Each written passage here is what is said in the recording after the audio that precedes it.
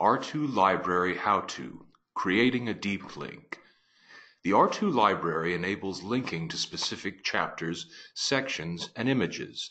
These links can be embedded in learning management systems, syllabi, social media, LibGuides, and more, and enable R2 library content to become a part of your user's workflow. To create a deep link, simply browse to a chapter or section on the R2 library. The URL displayed in your browser is a persistent link to the content open in the browser. Simply copy the URL and paste it into any document or web page. To save multiple persistent links to chapters or sections of content, use the Course Links feature of the My R2 area. Open the chapter or section in your browser, select the Tools pull-down from the top navigation pane, and click on Save as Course Link. A link to the content will be saved in your My R2 tab. You can add as many links as you like.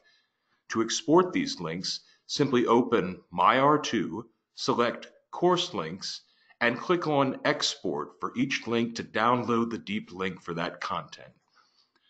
For deep links to images, simply click on the Direct Link image box displayed with each R2 library image. You can then copy the direct link to your clipboard and embed it as needed.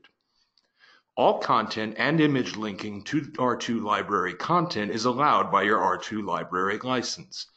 We encourage linking to R2 library content in addition to listing all available R2 library ebooks in your catalog and or A to Z list.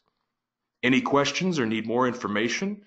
Please contact us at customer service at r2library.com.